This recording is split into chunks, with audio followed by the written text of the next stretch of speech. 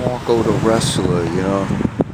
When, uh, you know, when I used to wrestle, you know, it was unreal, you know. Cause I, I always used to like to get real psyched up, man, you know.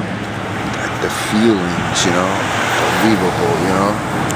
And I'd get so psyched up, you know, wrestling match, you know. And, oh, gosh. Like, take for instance, uh, in the semifinals of the county, in my junior year in uh, Walt Whitman at 138. Uh, I actually, I, I, walked on a wrestling mat. It didn't even feel like me. It felt like I was floating and flying, you know, to the, you know, circle, you know, inner circle of the wrestling mat. Hey, and I didn't even feel like me. Hey, and I went out there and, you know, I got the job done. Hey, I beat that Blue Devil that big school Huntington. I took him down. Hey.